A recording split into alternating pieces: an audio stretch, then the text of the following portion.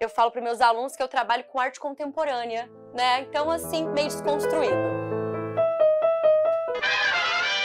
E aí, galera, tudo bem? Chamo Larissa, sou professora do Estude e vou falar um assunto bem polêmico que são leucócitos. Durante a pandemia, todo mundo queria uma proteína produzida por essas células, os famosos anticorpos. Um assunto muito pedido dentro dos vestibulares e eu vou ajudar você com esse assunto agora. Então vem aqui pro quadro para a gente entender um pouquinho como funciona essa célula imunológica.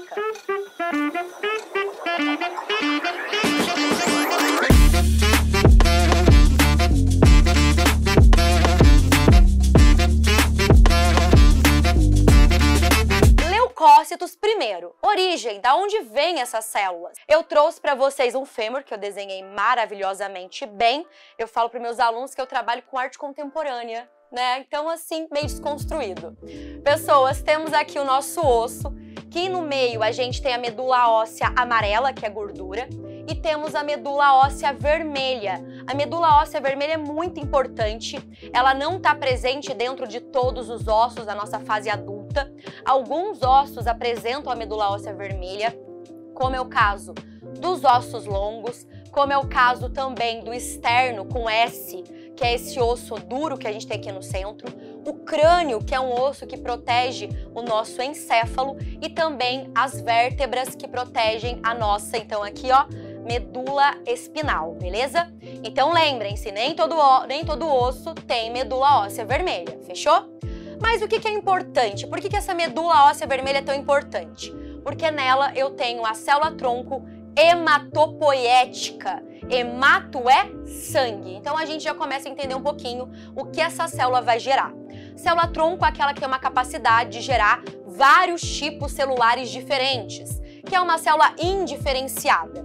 A célula-tronco hematopoética eu dei uma simplificada, mas ela pode gerar leucócitos, o tema da nossa aula. Leucócitos, que são células de defesa, são chamados também de glóbulos brancos e são células nucleadas. Quando eu olho para as outras células que essa é, célula hematopoética pode gerar, eu tenho a hemácia, que é uma célula anucleada do sangue e que transporta o gás oxigênio. E além disso, essa célula tronco hematopoética pode gerar um megacariócito que se fragmenta em plaqueta e a plaqueta participa da coagulação do sangue. Mas agora que você já sabe da onde vêm os nossos leucócitos, as nossas células de defesa, a gente pode entender um pouquinho melhor como ele é classificado e como ele funciona. Olha aqui a classificação que eu coloquei para vocês. Há granulócitos e granulócitos. Para começar, o que, que é grânulo? Já que essa palavra está falando de agranulócitos e granulócitos. Grânulos são essas vesículas, bolsinhas que a gente tem dentro das células imunológicas. Algumas células têm essa bolsinha e outras células não apresentam, beleza? Aqui dentro dessa bolsinha, dessa vesícula, a gente tem substância química que vai ajudar no controle contra uma determinada partícula estranha.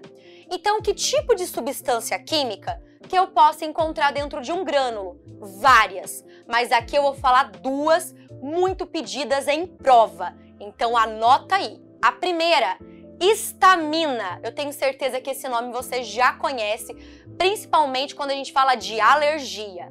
Histamina ele é um importante vasodilatador. Ele vai vasodilatar, ele aumenta o tamanho do vaso no local de uma infecção porque quando passa mais sangue, passa também mais células que podem ser recrutadas para defender o nosso organismo, beleza? Outra substância importante é a heparina. Anotou? Heparina que é um anticoagulante, não permite que o sangue coagule nesse local da infecção e assim permita que tenha então uma ação das células imunológicas, beleza? Galera, agora vocês já sabem que são grânulos, fechou? O que é um granulócito? Tem grânulo. O que, que é um agranulócito? A é negação, não tem grânulo. Quais são as células que são granulócitos? E agora calma, respira que vai dar tudo certo. Vamos lá. Neutrófilo, basófilo, eosinófilo, mastócito e a célula natural killer. São células que apresentam então grânulos no seu citoplasma. Quais são os agranulócitos que não têm grânulos?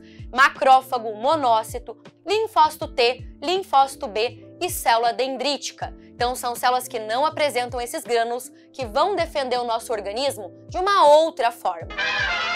Falando dessas outras formas de defender o nosso organismo, eu trouxe para vocês uma célula bem famosa, o famoso linfócito B. O linfócito B é uma célula produtora de anticorpos. Anota aí de novo: anticorpo não é célula. Anticorpo é proteína de defesa produzida pelo linfócito B. O que acontece, gente, que o linfócito B vai produzir os anticorpos, que normalmente tem formato em Y, e esses anticorpos vão proteger o nosso organismo. Como? Vou dar um exemplo aqui para vocês. Aqui nós temos um vírus. Sim, esse vírus ele está muito maior do que ele é, mas só para a gente representar. O que vai acontecer é que esses anticorpos eles podem aderir ao redor aqui da partícula viral. Dessa forma, eu tenho uma neutralização do patógeno.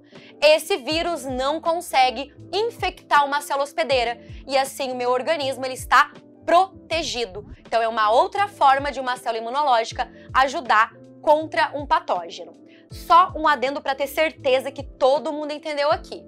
Pessoas, neutrófilo, basófilo, eosinófilo, mastócito, célula natural killer, macrófago, monócito, linfócito T, Linfócito B, célula dendrítica, todas essas são leucócitos.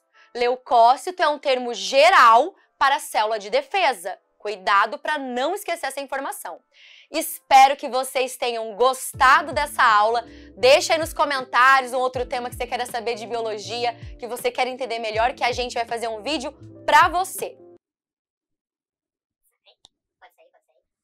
E aí, galera, esqueci de uma coisinha, um recadinho rápido. Vida de professora, minha memória não tá muito boa.